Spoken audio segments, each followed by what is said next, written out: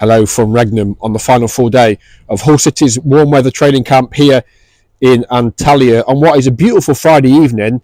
Deceptively chilly though, I've got to say, and a bit windy, just like Scarborough. Anyway, it's been a really successful trip, I think, for Hull City. Uh, the staff and the players. Liam Rosenior sat down with him just a little while ago uh, and we reflected on the trip.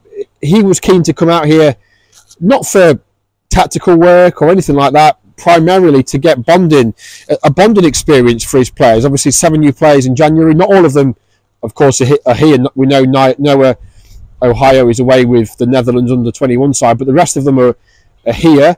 Uh, and I think he viewed this as crucial in the final weeks of the season. He did it when Hull City won promotion when he was a player here.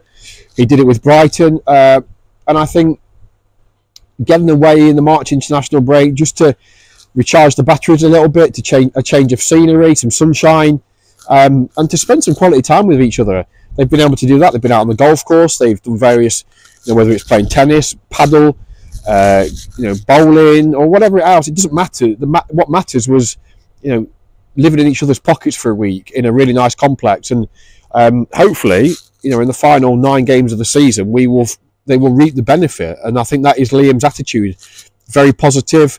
Uh, of course, they had the friendly yesterday, which I know there's been a bit of a a reaction, certainly on social media, which is you know understandable. It's social media uh, to the friendly defeat to Curacao, but I think that game, well, that game was scheduled for a specific reason. It was scheduled to give fringe players and players coming back from injury the opportunity to um, to get minutes that they've not had. You know, Aaron Connolly hasn't had 90 minutes. He got 90 minutes yesterday. It wasn't a great 90 minutes, admittedly, but he got 90 minutes. Billy Sharp got 90 minutes. Greg Docherty got 90 minutes. Um, Ivor Pandur, his first 90 minutes and did really well, I thought. You know, Sean McLoughlin is going to be needed at, on Good Friday and, and at Elland Road on Easter Monday because of Jacob Greaves' suspension. He got 90 minutes as captain. What a moment it was for Rocco Coyle, for Ollie Green, Tyrell Sellars Fleming got more minutes on the pitch, and even a player Brandon Fleming. You know, he's had a really, really difficult season.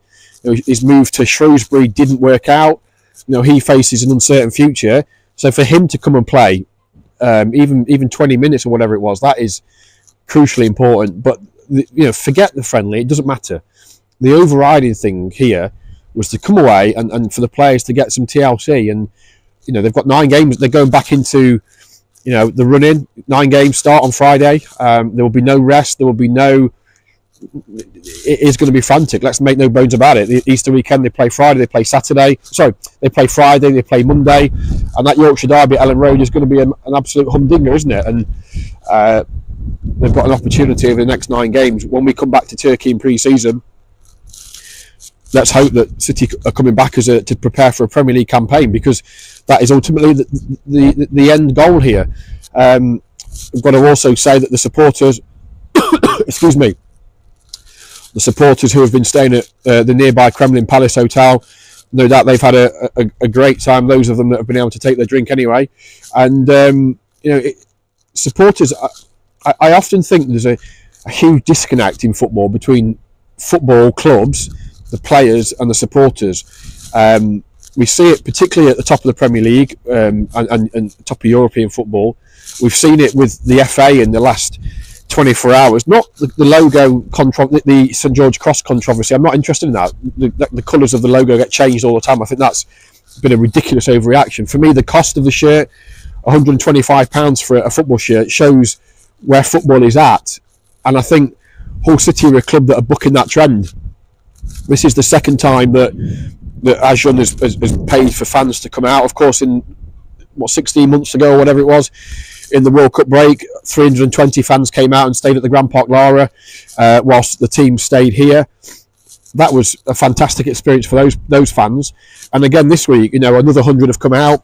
They've they've they've been you know, wined and dined, all inclusive. Uh, they, they, they went to a theme park. They've done various other bits and pieces. They came to watch training. They came to watch the game yesterday you know, at training, at the end of the training, they were able just to mingle with the players. You know, something that happened what 50 years, 60 years ago.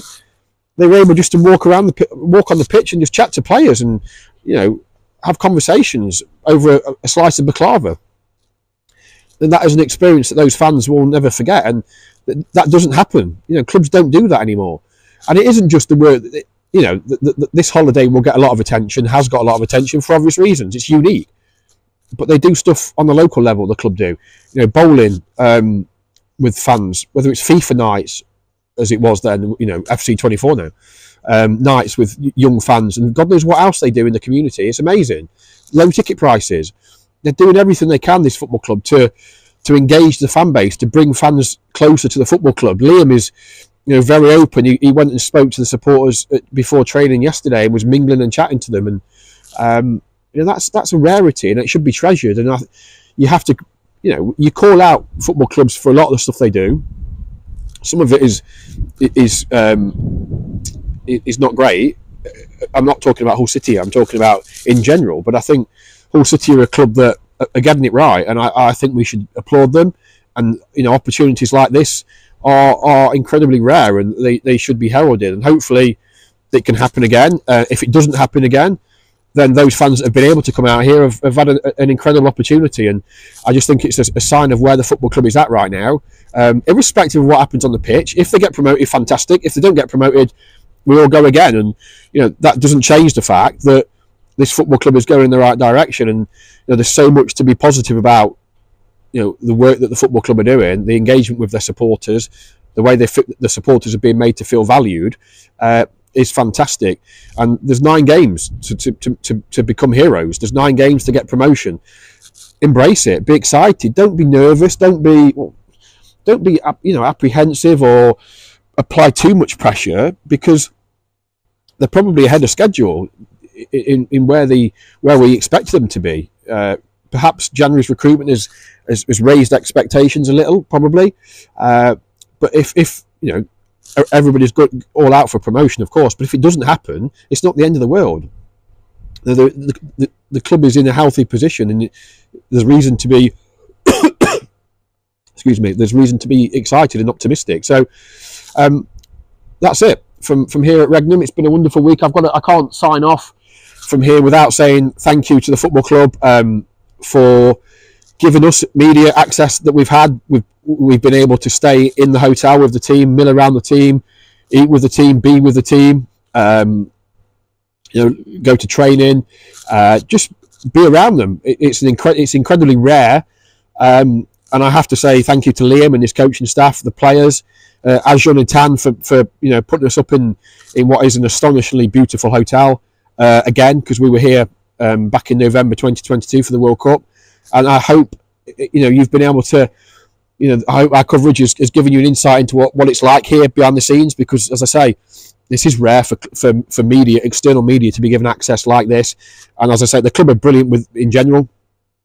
Uh, so thank you to the club uh, for making it all possible. So uh, that's it from here. We've got plenty more to come over the next few days, and of course, from Monday we'll be building up to Stoke on Good Friday.